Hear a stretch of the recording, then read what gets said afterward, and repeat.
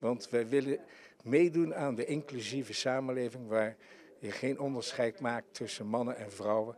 Iedereen is hier welkom.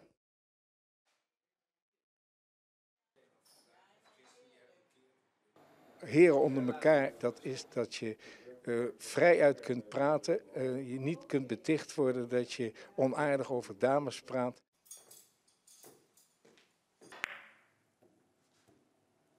De platste uh, moppen kunnen gezegd worden, maar ook verheven teksten over van waarom geloof je nog in deze wereld.